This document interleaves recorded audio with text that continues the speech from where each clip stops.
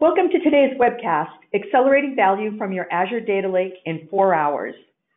Before we get started today, I'd like to go through a few housekeeping items.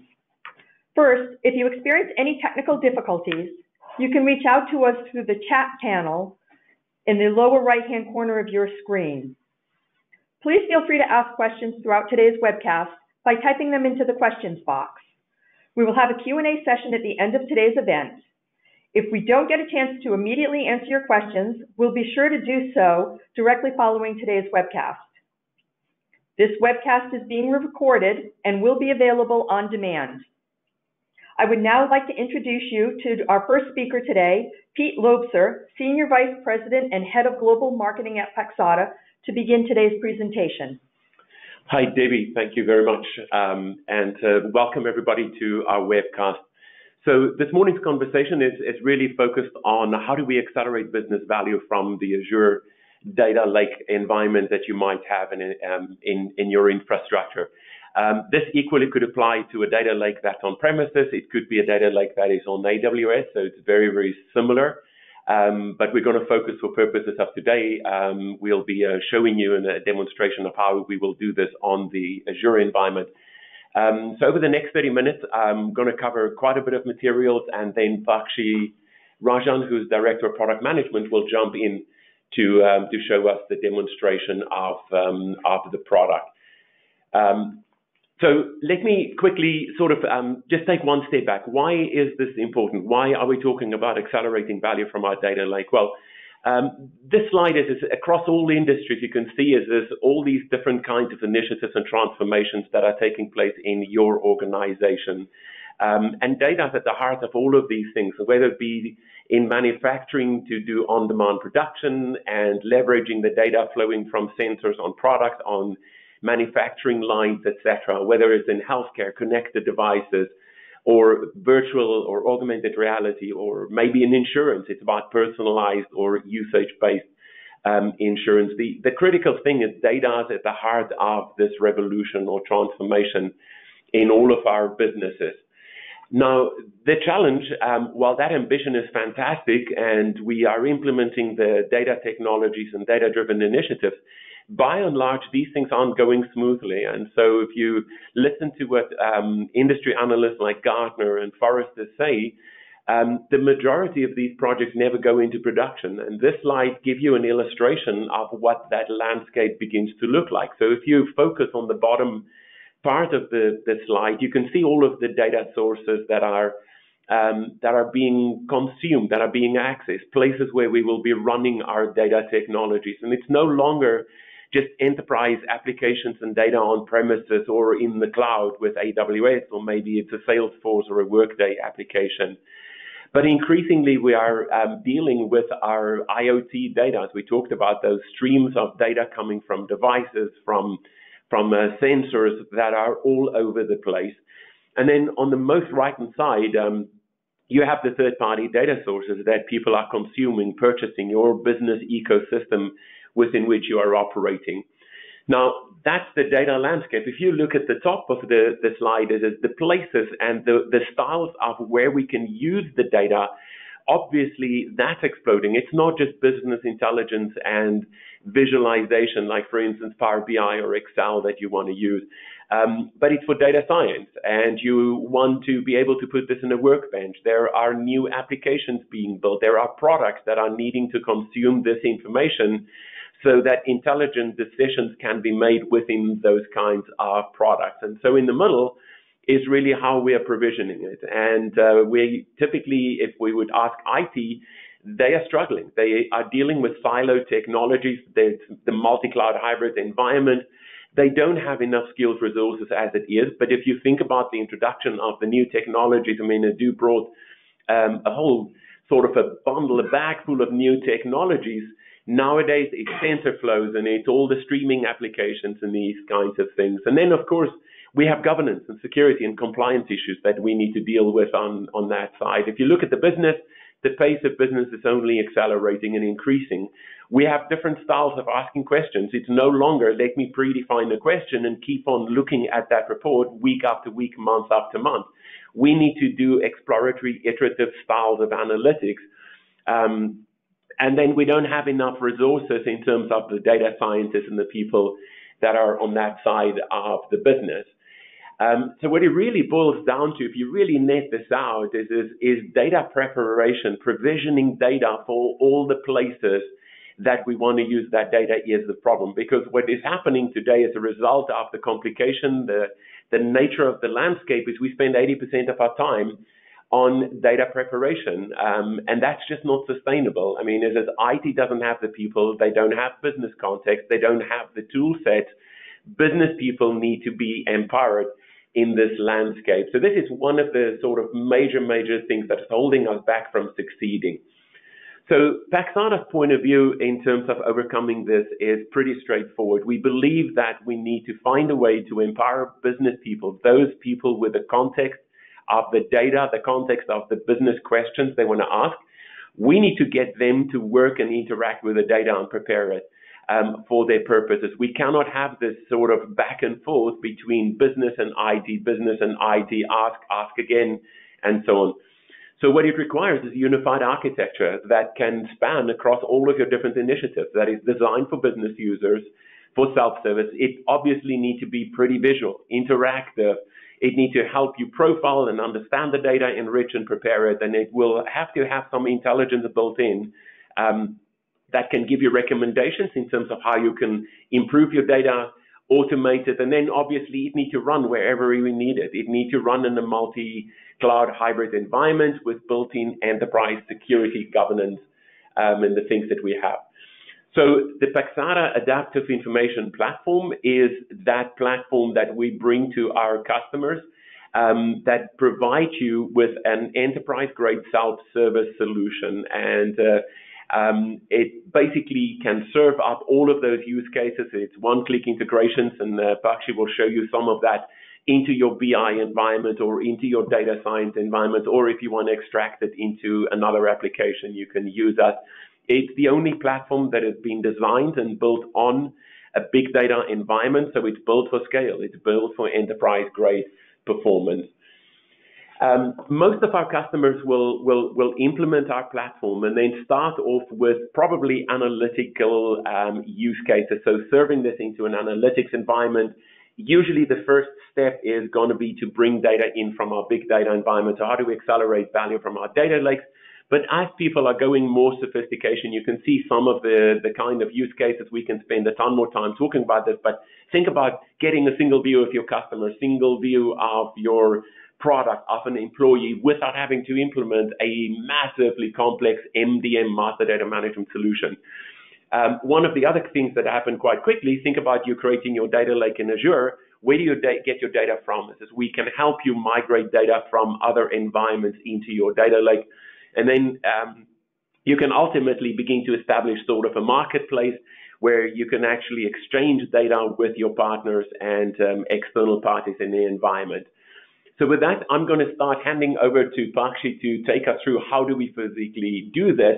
But before we go there is um, we have a poll, so we want to check um, quickly a couple of things. So um, the question for for this poll is basically what are the main business drivers for your data lake? Um, so the options are number one is it self-service business intelligence. Um, are you deploying data science or is it to support the sort of exploratory analytics? Maybe your marketing organization want to do things like this. Or are you in the fourth category with no real business use yet? So if you would like to uh, fill that in, I can read out the results in the next few seconds. Just a quick reminder. Um, on the right-hand side, you will see um, there's a handout, um, which is the Paxata on Azure Solution Brief. You're welcome to download that and uh, have a, a, look at that. Um, so the results are still coming in, but by the looks of it, is, is we have a pretty even split between self-service BI, a little less of people are doing data science and a lot of exploratory analytics. Um, and only about 10% of people have no business use um, yet within this environment. So um, keep on listening. Hopefully, we give you a few ideas. And with that, um, Pakshi, the floor is yours.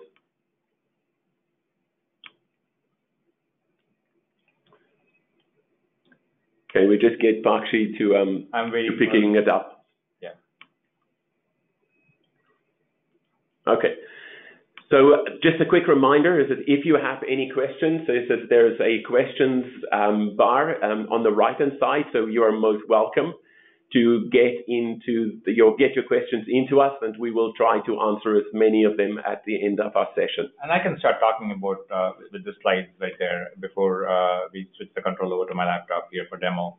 Um, so what happens? Uh, by the way, I'm Pakshi, I'm product manager at Paxata, and uh, and the way uh, most companies approach data lake is not very different from how they approach uh, data warehousing uh, a while ago, right? Uh, you land your data on some of the big data stores. Um, uh, and, and, then uh, on the right hand side, you have all the, the, the, analytical applications, visualization applications, sometimes it's an intelligent system. and then there is a big chasm in between the two right? The, the, traditional way of spanning this chasm between uh, your your uh, raw data stores, uh, and that, those are actually becoming bigger. So raw large data stores or big data stores uh, to your BI solutions. Um, many companies are using uh, traditional technologies like ETL, like coding, uh, and creating a curated store, um, and then populating things in something like Azure SQL Data Warehouse or uh, or some other intermediate store before you do uh, analysis and uh, your visualization solutions. Um, what Paxata offers is an alternative where you can take a, an average Excel or Power BI user and put them squarely in front of the data that's on your data lake store. So uh, your average BI user who's uh, bought into the self-service BI uh, mission uh, and you have taken on uh, self-service BI and exploratory analysis as the core mission for your data lake. Uh, we can put that user squarely uh, be able to interactively explore, browse uh, the data, profile the data, uh, prepare the data, and then consume it in the analytics solutions without without much of handholding from engineers, data engineers like SQL or programming or anything like that. That's what Paxata is here to do. Uh, and we do this the smart way. Uh, like Piet said, we uh, we use a scale-out architecture uh, using Apache Spark, and um, and and uh, uh, the whole thing is automatically governed and self-documenting. So I I picked this topic specifically saying how do we actually make bring value in four hours to enterprises that wants value from data, and I broke down the four hours to to these four steps, right? Uh, the first one is to install Paxata from Azure Marketplace, which I will walk you through in a, in a few minutes. Um, the second one is to you know provision users in Paxata and uh, and create connectivity to the data sources, uh, and then uh, granting that uh, the data source access to your analyst type user, uh, and then inviting an analyst user to log in and um, and and then ask them to prepare the data and then consume it in the BI tool. Um, obviously, this is for our uh, step. I'm going to uh, do the Julia Child approach uh, to, uh, to, to, present something uh, in a, in, a, prepared state so that I could uh, squeeze this all in in eight minutes. So let's get started with the demo. The, the first thing I want to show you is I want to start with Azure Marketplace. Uh, so this is, uh, you know, those of you who are familiar with Azure Marketplace, you might already know that you can click on the create a resource and spin anything that's already offered on the marketplace. Uh, and uh, I already clicked on the creator resource and you type search for Paxata, you'll see the self-service data preparation application from Paxata. You click on create and then fill the, the four steps that comes as part of the marketplace uh, and uh, three steps, much easier. And then uh, you will get Paxata in about uh, half an hour or so, right? So that's your that's your the first the, the first one hour of your your your four hours spent. Uh, once you have installed Paxata, uh, you will get uh, essentially a HDInsight Spark cluster. and it would look like this. It's not that scary. It, it, looks scary in the beginning, but it's not. Go to the overview and then click on applications. Um, and then you should see Paxata installed right there. and you just click on the portal link and, and that should open up Paxata for you. Uh, and in the process that uh, you use to get here, uh, you would have an email with some uh, tutorial videos and uh, and how to provision users, etc. So everything pretty much I'm going to walk through in the next step. You would have it in a video form available to you by email, uh, so that it'll, it'll handhold you how to you know how to take the next steps. Um, so the first thing I want to do here, uh, now that I'm in Paxata, is I want to provision a user, an analyst user. Um, so here I want to go into user screen. and then create a user for my analyst. And I'm going to call the analyst Debbie. She's sitting right across me. I hope this makes her nervous. And uh, I'm going to give a uh, password that uh, for the user. And I'm going to give uh, Debbie uh, a power user automation uh, capability um, and then save that. So I have provisioned the user right now. The next thing I would do is I would create uh, some data sources in Paxata. Uh, Paxata comes built in with a variety of connectors uh, for a lot of data sources. I'm going to pick just show you how uh, how you create a data lake store connection. Uh, so select the connector, give it a name, uh, add the URL for your data source, and then you, most of you who have used Azure Data Lake Store know that you have to create an Active Directory application ID and an access key for authentication. you put that in, add the group data source, and then make sure that they can read, update, and delete. Uh, and then voila, you have you, know, you have enabled uh, you know Debbie. Uh, the next thing you would have to do is go go to a group and then uh, add Debbie to this group. That's that's pretty much all you would have to do, right? Uh, so grant uh, access to that group and then add Debbie to the group, and then so your analysts now can access your data source, um, and then they can be on their way getting into data prep, right? So now we are in the step three of the four-hour program. Um, so what I want to do is quickly introduce the remaining areas of Paxata. Paxata has three uh, major areas besides the admin that we just saw. Uh, the first thing is the data library. That's the place where, you know, if you upload a data set, it gets curated there automatically. Um, or you could, uh, you know, when, when you prepare a clean answer set, that gets published and, uh, and, and, and curated in the data library. Uh, this is mounted on an Azure Blob or ADLS bucket uh, container. And then Paxata projects are the place where you transform data, uh, and uh, I'm going to walk you through that as well. And if the user likes, the analyst likes the, the, the data that they brought in and the, the transformations they did, they could do self-service automation without having to worry about an external scheduler or orchestrator, uh, do all that from the user interface of Paxata. So that's the breakdown of what we have in the user interface. So first thing I want to go through, go over is uh, walk through how uh, an average analyst can bring in data that is on their data lake store, right? Um, so if I click import here and um, and uh, click on data lakes, the, the data sources here, um, I see a variety of data sources that I've been given access to, right? Uh, and this again is all governed and curated uh, data source access. So as an admin, you could you could choose who gets access to what, uh, and you could also make sure that uh, you know as you're provisioning these things, uh, that you could impersonate so that you know one person cannot see data through Paxata that they otherwise would not be able to see in a data source. Um, so you have a lot of governance framework uh, tied behind this. But from an end user point of view, they should be able to browse the data that they're allowed to browse, just like the way they would browse on their laptops. So they should not have to remember connection strings and and uh, and, and application IDs and whatnot, right? So it's all uh, really uh, up leveled one uh, multiple levels so that you come in, you just click the data source, and uh, and essentially you just get uh, uh, the the folders underneath it, just like the way you would browse your laptop, and that's that goes same for any any location. So let's say I like this data, or at least maybe I want to explore this data. I could just click here and get a preview of this data, and if I like that, and of course I can interactively parse the data as well. Uh, but if I like this data, all I have to do is just say finish, and uh, voila, I have uh, brought in data from my Azure uh, uh, Data Lake store into Paxata, and that was all visual and almost like Windows Explorer or Mac Finder type experience to to bring in data into Paxata. Um, now, I I went through or I glossed over a lot of capabilities in the screen.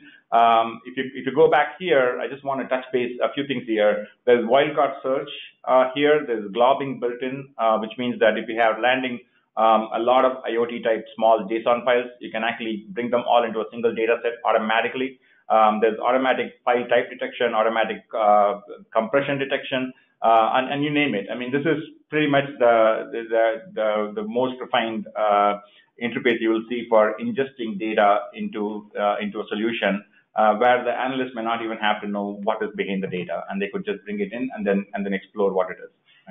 Um, so I want to get out of this uh, mode and then show how I can now transform this data. Now that I have the data in Paxata, how do I transform this in uh, in?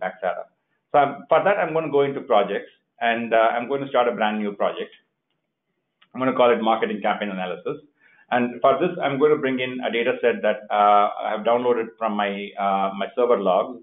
And uh, and this data is um, is uh, essentially the data that people have voluntarily filled in on my website to download, you know, uh, collateral, white paper, things like that. And, and most of you who work in marketing, and I have two of them working in the same room as me right now, uh, they know that this data is never, never clean. It's, it's usually, this is, you know, people voluntarily disclosing data to download something. They're often on the rush to down, get somewhere else to do something else. And so the, data is always not good. So what I do as an analyst, I come in, I turn on uh, pattern highlighting, um, and to give me an give me an idea of what is going on with this data, just to visually scan the, and get an idea of what's going on. The pattern highlighting highlights data that has uh, similar values with same color. Um, so for example, if I like if I see uh, Owen Donovan here, uh, three different rows, um, I expect the same colors to spread throughout my horizontal line. Uh, so I, for example, help desk, uh, help desk technician, help desk tech. Uh, well, I'm sure Owen was in a rush, so you put that name in there, uh, and that's okay. Uh, the position doesn't really matter from analysis as much, but company does because I want to know uh, how, you know, whether this is a single prospect or multiple prospect. Uh, and the company column is critical for me, and I can see that that column is not really cleanly populated. Um, and uh, and what I want to do is I want to just see how bad is this column of data. Uh, and, and, for that, uh, Paxata has a thing called filtergrams. And uh, what filtergrams is is basically it's a it's a histogram that allows you to filter. It shows you the distribution of data, but you can click on it and uh, you can select multiple values. Like, you know, JC Penney, for example, is spelled in two different ways. Uh, it's obviously not good, bad data quality. There's 6,794 unique values here. Um, I want to see uh, if I can clean this up, right? Now, in, if you are used to uh, cleaning this up in Excel or, or, or, let's say in, you know, even in Power Query, for example, uh, you would you would probably do uh, search and replace right? And, that's fine. That's, that's, that works okay. If you know pretty much every single way in which the data is messed up, uh, you know, you could, you could, you could iterate through the finite list or actually a small list of data, uh, the, the variants, and then do a search and replace. Um, or you could actually, you know, if you can document every way in which things are wrong, you could also give it to uh, a programmer and say, can you just, you know, replace them for me? Uh, but what if you don't even know how bad the data is? Like you don't even know all the variations of it, right? And that's where uh, the power of algorithms come into picture. In Paxata, what I would do is I would do something called cluster and edit. Uh, and what that does is it actually brings together uh, values that has the same hash into a into a single you know into a single group. so, for example, in this case, I'm using an algorithm called Metaphone, which is like an original Soundex algorithm. anything that sounds similar will will will be clustered together. So here, JCPenney with a space, without a space, all that is actually clustered together. Uh, McDonald's is spelled in multiple ways, Nordstrom, of course. Uh, so I'm going to, uh, you know, uh, select this uh, cluster automatically button. Uh, what that does is it actually clusters all the values that are similar into into a, into the into one group. Um, and I can I've taken one pass at cleaning this data. And you can see that Lockheed Martin Inc. and uh, Lockheed Martin Inc. with a dot, they became one value. Uh, there's still a Martian here, uh, which we can clean up again using uh, something called a fingerprint algorithm. Uh, but I, my goal is not to show the full cleansing of this column. That would take me maybe half a day. Uh, but I want to show you that it's actually possible in, in Paxata. Um, and then once I have this cleaned up, maybe I can throw another filtergram here. And you can see that the value here is 6,434 unique values in the column. Uh, if I go back to my step editor uh, and then go back to the previous step, uh, you can see 6,794. So in, in a matter of a few seconds, we took out about 400 unique values uh, out of this column. Uh, and uh, therein, I want to show you the other feature, which is the step editor. Um, everything that you do in Paxata is self-documenting, and it's also versioned. So every version of Paxata that you, every time you modify the project, it gets uniquely versioned. So you can go back to the version that you used specifically and then uh, trace through all the steps that you took to uh, uh, come to that uh, final answer set. Uh, and so everything is uh, governed with lineage. The next thing that I, I often do as a, as a as wearing a marketing hat is I want to see, you know, how many of them are actually in my CRM. So I have all these people who have voluntarily given their name, downloaded something. I want to make sure that they are tracked in my lead system. so what I do here is I do a lookup and I have a, a feed from my CRM, which I'm going to pull. Uh, of course, we have uh, connectors to the systems as well. Um, so you select that, and then when you select uh, uh a CRM feed, um, Paxata would automatically start to find, uh, you know, probable joint candidates between the two tables. Um, so I have a set of tables that I got from a weblog and, uh, and, and set of columns that I got from my CRM. And Paxata is recommending to me that email is the best way to join these two tables. As an analyst, I don't even have to know the schema or the column names uh, of these uh, of these tables. Uh, what is more interesting is the second the second uh, join recommendation where it's a fuzzy join uh, and also the composite join. So if you take the last name and put a comma and a space, and then put the first name after that, that matches the full name of the second table, uh, and so on. Um, and so it, you don't have to know how to bring this data in, uh, uh how to join these two data sets together. Paxata will guide the analyst to, to, to do this uh, step by step. Um, and uh, and this is you know what a lot of people call as data integration. Uh, but except that you're doing data integration here without code, without SQL, without any Ninja skills. Uh, you just uh, point, click, and then uh, you have data data integration done. So when when I brought in two data sets, back up, I added this new column called sources, uh, which means that where where, I, where is my data coming from? and for here, I'm going to select do a filter on the sources, and I see that there's about 10,000 rows for which I don't have CRM data. I'm going to select that, add a, add a lens, and publish that. I'm going to say call this missing from CRM and uh, save that. Uh, and then I'm going to publish from that lens. Uh, and now that is going to show up on my data library. Uh, this is the place where all the curated answers show up.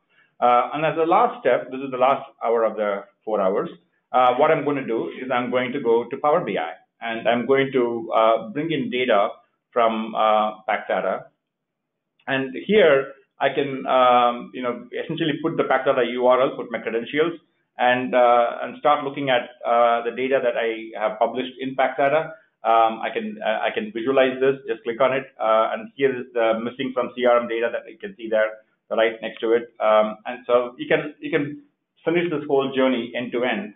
Uh, you provisioned Paxata, uh, created an analyst user, gave them access to the data, the analyst user logged in and uh, prepared the data, I mean, brought in the data, prepared it, and then uh, and then they can pull it in Power BI and uh, and build the dashboards. So that is the full flow that I wanted to share with you. Uh, I'm going to pass the presentation back to Piet. If you have any questions, I'll be after the presentation available to, to take some calls. Pakshi, thank you so much. So um, basically what we um, what we have at the moment is that we would like to quickly just put a poll up. Um, there's another quick um, poll that we wanted to put in front of you guys, if you don't mind um, sharing some of your thoughts. So um, just sort of a, a, quick question. Do you currently have data lake in development or in production? So the first option is, is, on premises, in the cloud, or in a hybrid environment, or nothing at all in production. So the choices are on-prem in the cloud, um, or in a hybrid environment. Um, a quick reminder, if you've got questions, please do pass them along in the questions um, frame on the right-hand side.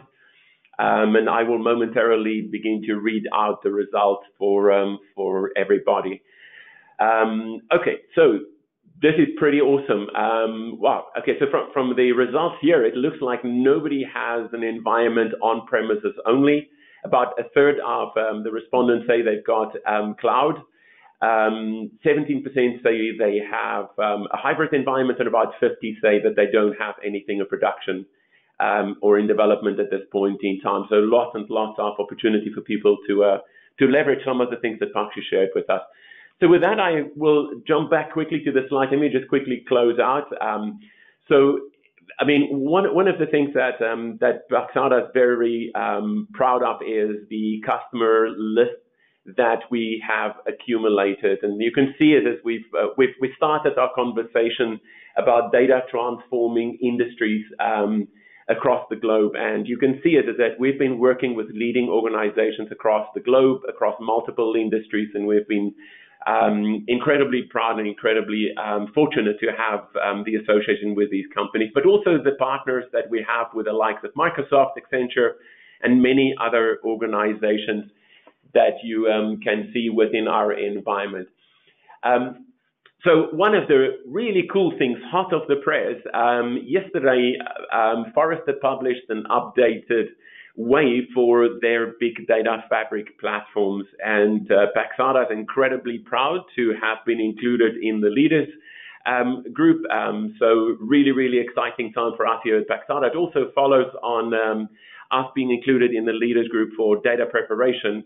Um, that was released last year. Said, they're in the process of redoing this wave. So um, picking Paxata is um, a safe choice. I mean, we're the only leader in both of these quads. Um, and so with that, I would like to, um, again, encourage people, if there are any questions, please um, fill them in on the right-hand side. Please download the solutions brief. If you want to try what, uh, what Paksha has shown you, um, then guess what? This is very, very easy. If you go to the Azure Marketplace, search for Paxata, you'll be able to find um, our, um, our distribution there, our product there, and you will get a free trial for 30 days. Um, you can get office hours with um, with Apache and the team personally. And again, there are more information on our alliance and relationship with Microsoft. So with that, I thank you very much. Um, okay, so it looks like there is a question. So just before we close it out, so the question is, and I'm going to direct this um, to Pakshi. So how is the performance adjusted when you have millions of rows of data to transform and integrate. So your samples were pretty small. I mean, can I handle uh, can I handle 10, 20 million? Yeah, this is uh, this is this is where uh, I think Paxata's architecture matters the most. Um, we uh, Paxata very early on when Spark was under development, we chose to uh, uh, co-create our solution on top of Spark, and uh, and we also had early Spark contributors in our team. Uh, and as a result of that, we are right now the only shop in town where uh, if you really want to interactively prepare data that you know even 10 million or above, uh, we are the only shop in town. Um, we can uh, we have done interactive data prep at hundreds of millions of records uh, uh by scaling out a Spark cluster slightly bigger, uh, and most of the Azure and uh, and the, the, cloud data lake um, the Spark clusters now support auto scaling. and so Paxata will be the only solution where you could actually do the data prep interactively at scale. Good. Actually, that's um, that's about um, I think that's about the list at the moment. So um, if there are any questions um, we that we didn't get to, we will try to respond to you directly. Um, it's also got us to the end of our time, and so um, with that, I would like to thank you guys for joining us. Thank you, Pakshi, for joining me on this webcast, and please be on the lookout for an email from us where you will get additional information um, about the webcast. You can download and view this again at your leisure. Thank you very much.